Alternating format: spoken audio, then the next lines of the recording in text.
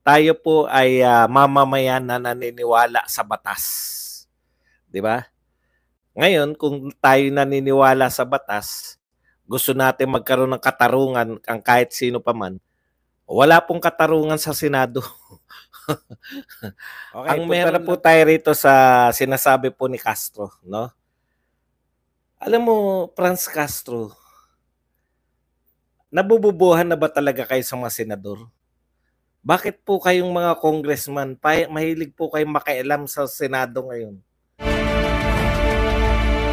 Nagulat po ako rito kasi tinitignan ko, Senate urges invite BP Sara to shed light on gun allegation, no? Ah, pinaiimbita po, gusto pong imbitahin, no? Ayon po sa magiting na congressman, congresswoman na si Franz Castro. Nagtataka ako sa iyo, Franz Castro. Na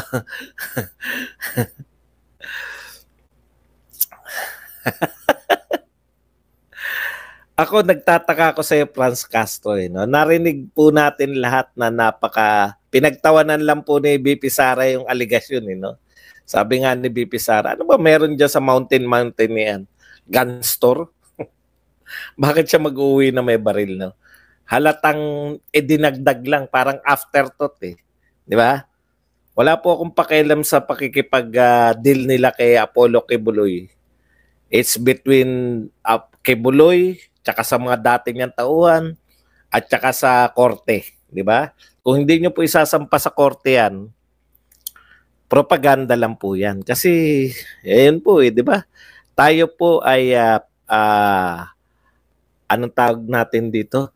Tayo po ay uh, mamamayan na naniniwala sa batas. Di ba? Ngayon, kung tayo naniniwala sa batas, gusto natin magkaroon ng katarungan ang kahit sino pa man, wala pong katarungan sa Senado. Ang meron lang po sa Senado, propaganda. Huwag na tayo maglokohan, Senator uh, Ontiveros. Kung gusto mo yan, na magkaroon ng katarungan yan, ikorte mo. Tulungan mo, magsampa ng reklamo. Sabi, yun naman na sinasabi ni Pastor Kibuloy, very willing siyang harapin sila sa korte. Ah, 'di ba? Ngayon, kaya natin binabanatan tong nagsangkot, halatang halata eh. Halatang halatang isinama, afterthought na, teka muna, pwede natin siguro idamay dito si yung mag-amang Duterte. Kaya ito naman, nagkaroon na naman ng pagkakataon itong si Congresswoman uh, Franz Castro. Ito po ang pahayag ni Franz Castro. Senator should invite Vice President Sara Duterte, if I were the Senate, sabi po ni Castro, I would invite BP Sara to answer the allegation. This is a huge allegation. Malaki daw eh. She should face the Senate and address the matter instead of beating around the bush. Yan po. No? Kaysa raw uh, nagpapaikot-ikot sa pagsagot to si BP Sara, eh dapat daw maimbitahan siya sa Senado. Okay, punta na po tayo rito sa sinasabi po ni Castro, no? Alam mo, Franz Castro, nabububuhan na ba talaga kayo sa mga senador? Bakit po kayong mga congressman, mahilig po kayong makialam sa Senado ngayon? Ah, nahihinaan po ba kayo sa mga senador? Kaawa-awa naman kayo. Kayong mga senador, grabe, no? Grabe na po tingin sa inyo ng mga congresswoman, congressman at congresswoman. Utos-utusan na lang kayo. Miski si Franz Castro. Gusto kayong utusan. Nagbigay ako ng gift sa iyo, Boss Buds, Dudski. Maraming salamat, Dudski. O meron ka namang ano, ah. Meron ka ng, uh, ayan, thank you very much sa iyo, Dudski, sa pagbibigay mo ng regalo. Okay.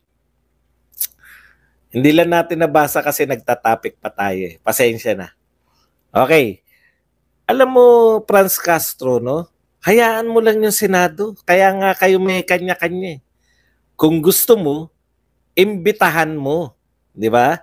Imbitahan mo na yung ano, yung si kung gusto niyo sa Congress, imbitahin niyo si Vice President, tsaka Vice President ng Pilipinas yan alam nyo, marunong naman sana kayong gumalang, no?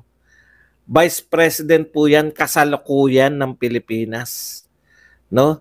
Eh yun, damay na damay lang po eh. Uutusan mo pa yung Senado para imbestigahan yung Vice President ng Pilipinas sa walang kawawaan. Tanong ko nga sa iyo, pinatampok ninyo na may anomalya sa confidential fund. Nagsorry ka na ba? Castro at Makabayan Blacks, nagsorry na ba kayo kay BP Sara Duterte? napatunayan ng walang anomalya, yung COA. Naglabas na ng report. Inignore nyo lang. Pag pabor, pag hindi pabor sa inyo yung report ng COA, hindi nyo ibaba, hindi nyo man lang sabihin na sorry, BP Sara, sa pag-akusa namin sa iyo. Wala ka palang anomalya sa confidential fund. Wala lang. 'Di ba? Pinasama ninyo yung tao Mabuti na lang yung mamamayan. Hindi na naniniwala sa inyo. Ang tagal nyo, binanatan yung confidential fund. Sinasabi nyo pa sa mga tao na pag lumabas yung COA report, makikita nyo yung anomalya niya ni yung anomalya daw, no? Nito ni Sara Duterte. Paglabas ng COA report, lumabas na yung COA report. Walang anomalya. Nagsorry ba kayo? Yun yung sinasabi ko eh. No? Atake kayo ng atake. Nung napatunayan yung walang kasalanan si BP Sara, hindi naman kayo mag nagsosorry. Ang purpose nyo lang umatake kasi. Baka maniwala yung tao. Mabuti na lang, mabuti na lang ang mamamayang Pilipino hindi na, na hindi nyo na napapaniwala. Katunayan, number one si Sara Duterte sa presidential survey, sa lahat ng presidential na survey. Number one si Sara Duterte sa lahat ng trust rating survey. Number one si B, ang number one ang DepEd sa lahat ng agency ng gobyerno. O, dagdag pa ngayon. Bagong labas, mainit-init pa Number one na naman po si Pangulong Duterte sa senatorial survey ng Tanghere. Yan yung sinasabi ko sa inyo. Ano yung sinasabi nyo laos na yung mga Duterte? Ah, bakit kayo kinakabahan na meron silang prayer rally dito sa Cebu? Hindi na po Davao to. Baka sabihin nyo, Davao yan eh. Kaya ano? Alam nyo po, pinanonood ko yung sila, yung taga Tangere, yung pinuno ng Tangere. Pinapaliwanag niya eh kung bakit yung break up talaga ngayon, no? Kitang-kita na po yung break up ng unit team. At naapektuhan po yung mga balwarte nila. Sabi po, 25% ng boto ng mga Pilipino galing po sa North Luzon at saka sa Central Luzon. 25%. Kaya bumaba po yung rating ni BP Sara. Bakit? Bumaba siya sa North Luzon at Central Luzon. Pero ang malupit po nito, 45% ng boto ng mga Pilipino galing po sa Visayas at Mindanao. At ang laki po ng binaba ni BBM sa Visayas at Mindanao. Iyan ang katotohanan. Kaya po, sabi ko nga, may nagtanong nung isang araw, kakayanin ba ni BP Sara na maging mag 32 million? Maaring hindi. Pero yung panalo niya, kasi 45% pala yung Visayas at Mindanao. Eh. Bibiyak lang siya ng konti sa NCR, bibiyak lang ng konti sa, sa Luzon, mananalo na si Sara Duterte. Kumpara, no? Kumpara sa kandidato na saan kukuha ng boto si Martin? Siguro dito sa Visayas, parting late eh, makukuha niya. Saan kukuha ng boto sila tulpo? Magagawan sila dun sa, ng iba pa, dyan sa Luzon. Kaya maganda yung analysis eh. Pati po yung mga supporter, no? Pati po yung mga supporter ng Uniteam, biyak na po. Lahat, eh, totoo naman yun. Thank you very much muna kay uh, Mizel Villaluz na nagbigay sa atin ng Australia 10 Australian dollars na pangkape. Yan. Maraming salamat sa iyo. Milcel. Ano? Mizel de Villaluz. Sa makatwid, sa pagsusuri na yan, pati po mga supporter, no? Wala na po yung ngayong mataas po mat, mataas po si BBM dati miski sa Visayas at Mindanao dala po ng ni ng mga Duterte. Mataas po si Sara Duterte sa Northern Philippines, Northern Luzon, dala po ng mga Marcos.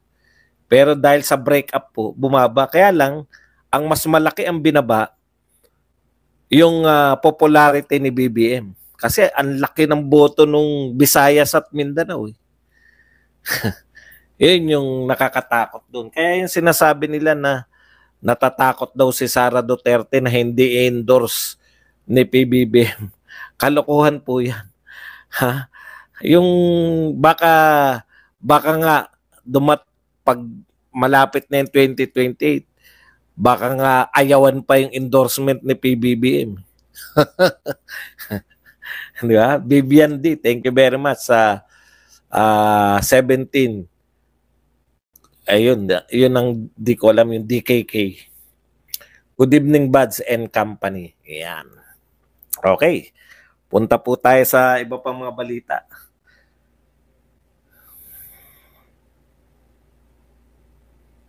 Trust rating, tapos na tayo. Oh, inimbitahan si Sara Duterte. Alam mo palpaka ano eh, imbitahan mo sa sa kongreso tsaka inter ano po no, wala naman kayong kahihiyan. Co-equal branch of, akala nyo ba sa vice president, mas mataas kayo kung imbita-imbitahan nyo lang? Hindi po ganun ang sitwasyon. Pangalawa po sa pinakamataas yan. Masyado mong minamaliit si Sara Duterte, ano eh, Franz Castro eh.